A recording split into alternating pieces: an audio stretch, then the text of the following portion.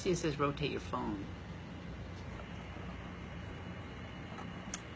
It thought it was off balance, that's all it was. Hi, Hello. we are back. This is day two. Why is it fuzzy on this side? I don't know. Hello. Uh, yes, this is day two. We need, yeah. Hmm. Um, hold on one moment. Why is it on this side dark? It seems like. Is it something blocking the lens? No! I don't know. No. Nothing's blocking the lens. Hi, Cassie. Sorry, we're having technical difficulties.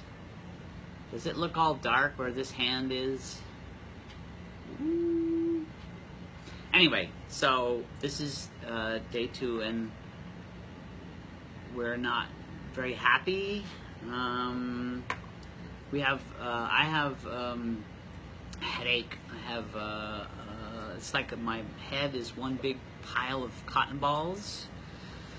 And I sit down to work at the computer, and the thoughts are difficult to process, and all I can think about is um, coffee. Pretty much, yeah. The want for coffee. You know, I'm going to turn that light on back there. A little dark, huh? I don't know what that. Oh yeah, maybe it's that. Oh, I get it. That help? It's this? Yeah, a little, little bit. So, no, that didn't help. Okay. it doesn't really matter. So, we have the same yummy uh, green sludge today, except the camera's closer now. So it's a little bit more difficult to show you stuff. And, Green sludge. yay! Oatmeal. Now, Cassie, I know that you said you love, you hate oatmeal. Oh, Cassie, I'm with you. This is this is like some kind of murder. As a matter of fact, I'm wondering. I know you have to do the oatmeal for the first four days, but if this is going to go on for 26 days, I may have to just slip my wrist, or probably be better to send an email to the person who made this diet and ask if there's any substitutes. Like I almost would rather eat another one of these or drink another one of these than to have to do oatmeal for longer than one day. This is terrible. I'm putting everything on it I'm allowed to. So we've got cinnamon and I put in a little ground nutmeg and some stevia and hopes that it will make it palatable. So, uh, Rebecca had to get a blood test this morning. So, in addition to starving herself with this diet, she had to starve herself in order to go get the blood test in the morning. But we did it, and our heads are full of cotton.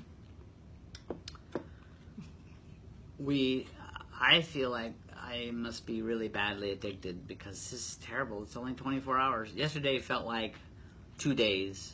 Like every hour that passed, I'm like, what? It's only 11 o'clock. And we were full. We were very full. I Well, mean, you know, yeah. you get this big potato at lunchtime and you drink another one of these. Mm. Um, and uh, today we're going to be doing juices, so that's kind of exciting.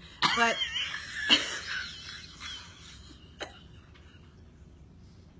but uh, we were full, but we think it's a lack of coffee. Like we didn't realize how much coffee or caffeine we consumed. I consume a lot less than he does. I consume a lot of coffee. Because you but, not, but my headache is not severe. It's not a migraine. It doesn't hurt exactly. Although I, I took aspirin a lot yesterday just because it was foggy. You know, I was like, uh. Let me just show you this. This is his coffee cup.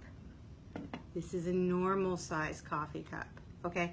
This is what he drinks and he fills it up constantly all day long. This is a normal size coffee cup. This is why he has a massive headache.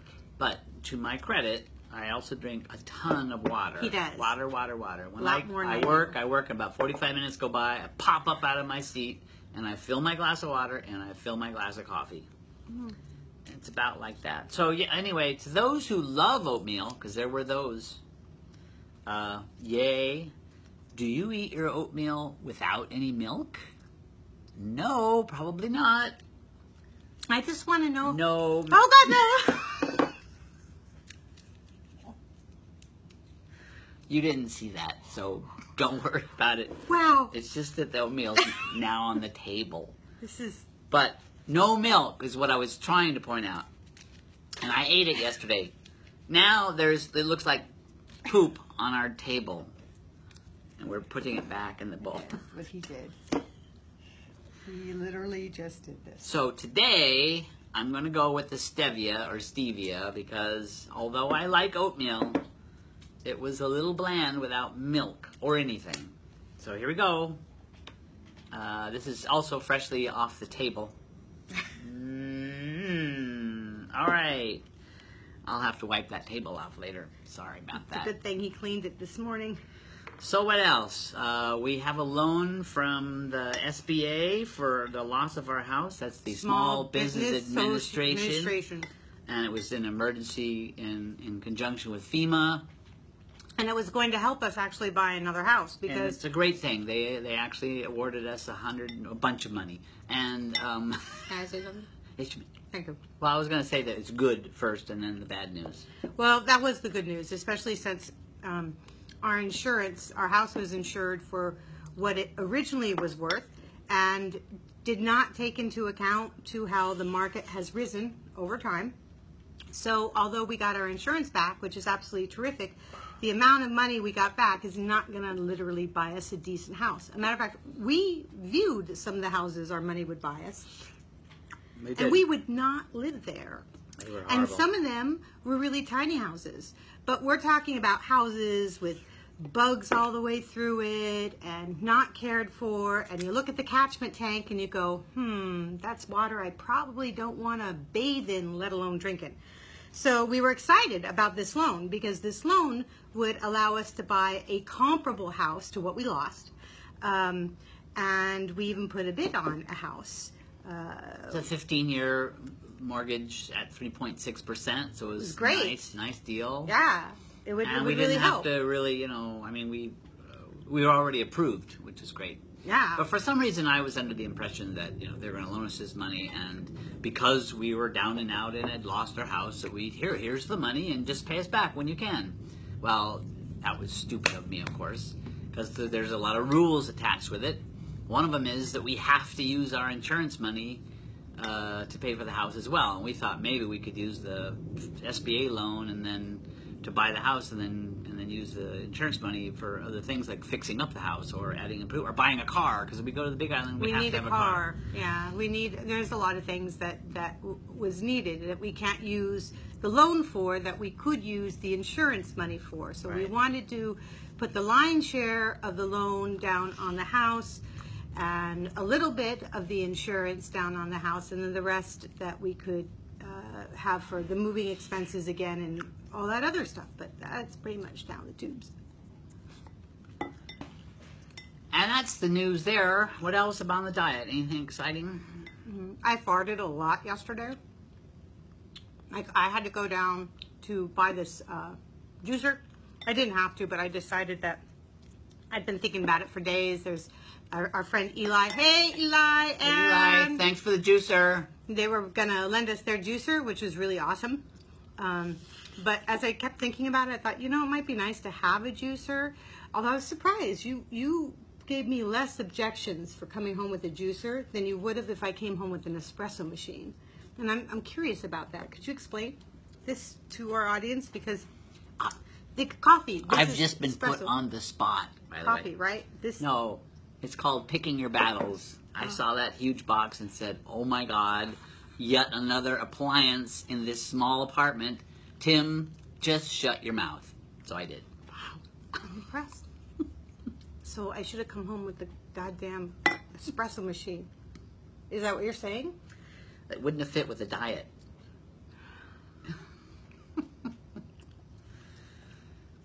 So we finished watching Mrs. Maisel last night. Great oh, show. so good. Oh my gosh, show. she's so funny. Mhm. No popcorn, No. no beer, Uh-uh. no nothing actually. Just we actually just watched the show. We got to watch her get drunk and eat. She ate a lot of stuff. Lots of she stuff. She ate macaroni and cheese in front of us. Right. And we had these.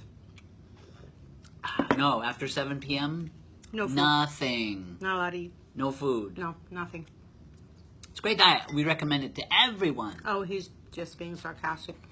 You know, the upside is, is we should feel a lot healthier. I mean, when I think about it, I put a lot of salt in my food. A lot of salt. I love salt. I don't do sugars a whole lot.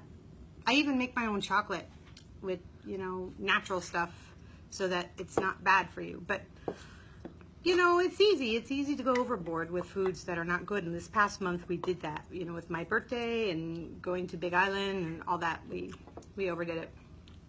So we're looking forward to this. We both could lose like 10 to 20 pounds. Yeah. So we're looking forward to that as well. Um, I'm looking forward to some of my clothes fitting me again. It's sobering. I mean, it's one thing to say you really love coffee, but it's another to have your body go into uh, convulsions and make it impossible for you to think or sleep or eat or have fun. And it's like, wow, I got a problem here. That's sort of what I'm thinking. Yeah, I woke up several times last night. I suspect it was the coffee. Oh, I also had to pee a lot because I've been drinking these. So peeing and farting, and you know, the enema bag is yet to come. And I think that's about it for today. I think that might be our closing note. Thanks for joining us, and see you on day 24 or day 3 tomorrow with 24 more days to go. Go. Aloha. Aloha.